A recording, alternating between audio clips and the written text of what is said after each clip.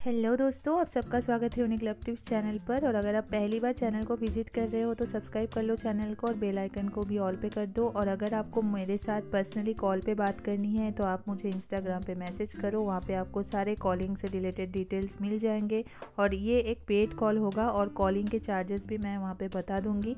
और इंस्टाग्राम का जो लिंक है, वो मैंने डिस्क्रिप्शन में दे के रखा है। पार्टनर पहले जैसा कॉल मैसेजेस नहीं करता है या नहीं करती है, टाइम नहीं देता है, ठीक है? आपको इम्पोर्टेंस नहीं मिल रहा है पहले जितना आपको इम्पोर्टेंस मिलता था। और ऐसा क्यों हो रहा है? इसकी जो वजह है वो क्या है? इसकी सिर्फ़ एक ही वजह है कि आप ना सिर्फ़ आपके पार्टनर को लेके ही सोचते हो। आपके जो खुद की लाइफ है, आप भी एक इंसान हो। आपके लाइफ में भी बहुत सारे इंपॉर्टेंट पर्सन हैं या फिर इंपॉर्टेंट बहुत सारे काम हैं, आप उन सारी चीज़ों को आपके पार्टनर के लिए इग्नोर करते हो। आपने सारी चीज़ों को इग्नोर कर दिया किसके लिए? आपके पार्टनर के लिए और आपके पार्टनर ने ही आपको एक दिन इग्नोर कर दिया।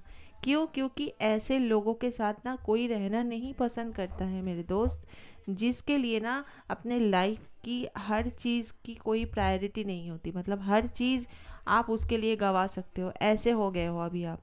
लेकिन जब वो आपके साथ रिलेशनशिप में आया था ना या आई थी, तब आप एक अलग पर्सन थे, आप एक अलग इंसान थे, जिसके लाइफ में काम की भी वैल्यू थी, ठीक है? मम्मी पापा की या फिर अपने फैमिली की ठीक है, अपने दोस्तों की सारे चीज़ें जो थी ना आपके लाइफ में, एक बैलेंस था उसमें। लेकिन अभी क्या हुआ है ना, पूरा जो बैलेंस है ना, वो आपने खुद ही ख़राब करके रख दिया है।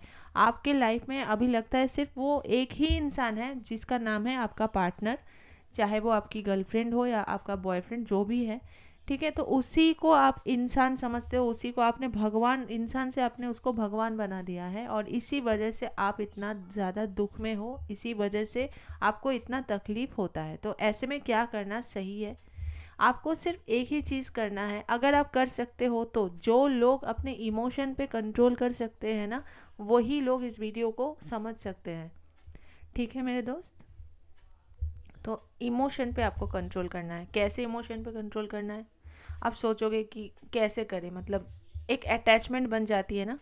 तो अटैचमेंट बन जाती है, सब समझते हैं हम, लेकिन आपको अपनी फीलिंग्स ज़्यादा शो नहीं करनी है उस इंसान को। कॉल नहीं कर रहा है मैसेज नहीं कर रही है, ठीक है, नहीं कर रही है तो नहीं कर रही है। मैं खाना खाऊँगा, मैं अपना काम करूँगा या करूँगी, ठीक है? मुझे खुश होने के लिए किसी इंसान की ज़रूरत नहीं है। अपने आप खुश हूँ, मैं अंदर से खुश हूँ। ठीक है, ये जब आप महसूस कर सकते हो, आप ये जब फील कर सकते हो ना, तभी आप ये समझ लेना कि आप सही हो।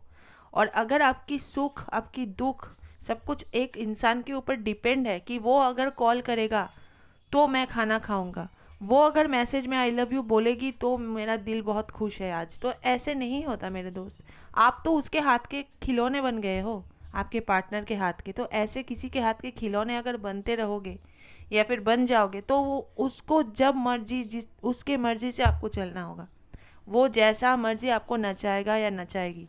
ठीक है तो ऐसा मत करो। अपनी लाइफ को ऐसे बर्बाद मत करो और ऐसे ही आप एक टाइम के बाद डिप्रेशन में जाते हो, हाथ काट लेते हो, पता नहीं क्या क्या कर लेते हो तो ऐसा बेवकूफ़ी वाली काम तो कभी सोचना भी मत करने के लिए, ठीक है?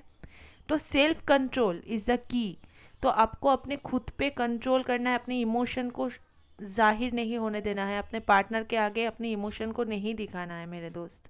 क्योंकि वहाँ पे ही इमोशन दिखाना चाहिए जहाँ पे उस चीज़ का कदर हो। जहाँ पे आपका पार्टनर आपको कदर ही नहीं करता, आपकी फीलिंग्स की कोई वैल्यू नहीं कर रहा है, वहाँ पे फीलिंग्स क्यों दिखा रहे हो आप? क्यों? मत दिखाओ फीलिंग्स दिखाना बंद कर दो। दोस्त, आपने जो सबसे बड़ी गलती की है ना, वो ये है कि आपने कभी इमोशन पे अपने कंट्रोल ही नहीं किया है। और हद से ज़्यादा अपने इमोशन को शो कर दिया उस इंसान के आगे। और इसी वजह से वो जो इंसान है ना, जो आपका पार्टनर है, वो अभी आपको ग्रांटेड लेता है या फिर आपको इग्नोर करता है। क्योंकि उसको पता है कि आप उसके बिना नहीं रह सकते हो। क्योंकि आपने उसको क्या किया है ना, अपने लाइफ का जो रिमोट कंट्रोल है ना, उसके हाथ में दे दिया है कि ये लो, मेरा कंट्रोल आपके पास में है, आप जैसे मर्ज़ी मुझे चला सकते हो। तो ये क्यों किया है आपने? ऐसे करोगे तो कोई भी इंसान आपको नचाएगा ना, अपने मर्ज़ी से। तो ऐसा मत करो, अपना कंट्रोल अपने हाथ में रखो। ज़्यादा फीलिंग्स शो करने की ज़रूरत ही नहीं है। अगर आपका पार्टनर कॉल करता है तो ठीक है, ना करता है तो वो भी ठीक है। ऐसा एटीट्यूड रखना है आपको कि कॉल आए तो भी ठीक है कॉल ना आए तो भी ठीक है। मैसेज करे तो भी ठीक है मैसेज ना आए तो भी ठीक है। लेकिन किसी के सामने भीख नहीं मांगना है कि प्लीज़ यार कॉल कर ले प्लीज़ मैसेज कर ले, ठीक है? आई होप आप समझ रहे हो कि मैं क्या कहना चाहती हूँ। कभी किसी के सामने प्यार की भीख मत मांगो मेरे दोस्त, क्योंकि अगर आप उस इंसान के लिए मायने रखते हो तो वो डेफिनेटली आपको कॉल मैसेज करना ज़रूरी समझेगा, वो डेफिनेटली आपको टाइम देना भी ज़रूरी समझेगा।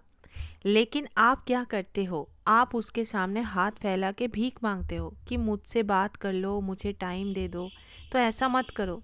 अगर आप खुद ही अपना वैल्यू नहीं करोगे तो कोई भी दुनिया में आपकी वैल्यू नहीं करेगा मेरे दोस्त। आई होप दोस्तों आज का वीडियो आपको पसंद आया होगा और वीडियो अगर पसंद आए तो प्लीज़ यार वीडियो को एक लाइक ज़रूर करना और चैनल को भी सब्सक्राइब करना अगर चैनल पर नए हो तो और जितना हो सके वीडियो को शेयर कर देना। Thank you